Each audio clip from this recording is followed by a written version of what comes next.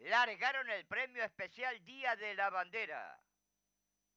Junto a los competidores trata de hacer la delantera el número 3, Partigoer. Viene ganando terreno por el 8 de la pista el 4, Prime One que va resueltamente busca al puntero. Abierto corre el 5, Ecole Privé. Por dentro lo viene haciendo el 1 de Oscuros y más atrás lo hace el 2 Galleta. Los competidores en mitad de codo pasan la demarcación de los 800 metros con el número 3 Partigor en la delantera. En su busca la carga del 4 Prime One que va en busca del puntero. Tercero viene corriendo el 5 Ecole Privé van a hacer el ingreso al tiro derecho final.